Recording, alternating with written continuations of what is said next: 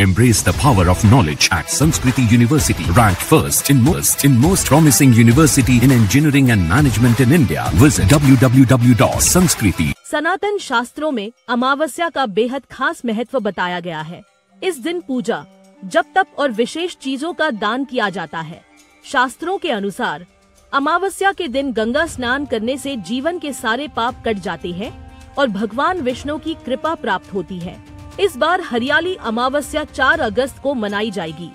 आइए जानते हैं हरियाली अमावस्या पर क्या दान करना चाहिए। सावन के महीने में हरियाली अमावस्या मनाई जाती है। यह महीना देवों के देव महादेव को प्रिय है।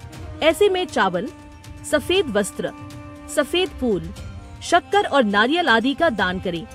इससे जातक को शिव जी की कृपा प्राप्त होगी। हरियाली अमावस्या पर भूमि का दान कर सकते हैं। ज्योतिष शास्त्र के अनुसार भूमि का दान करने से पितृ देव प्रसन्न होते हैं।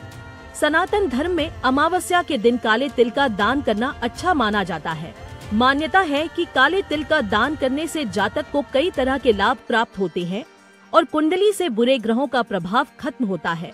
पूर्वजों की कृपा प्राप्त करने के लिए अमावस्या तिथि शुभ मानी जाती है। इस दिन अन्न, धन और वस्त्र का दान करें।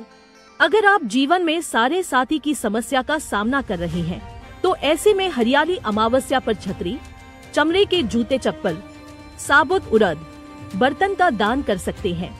इससे आर्थिक तंगी दूर होती है और घर में खुशियों का आगमन होता है।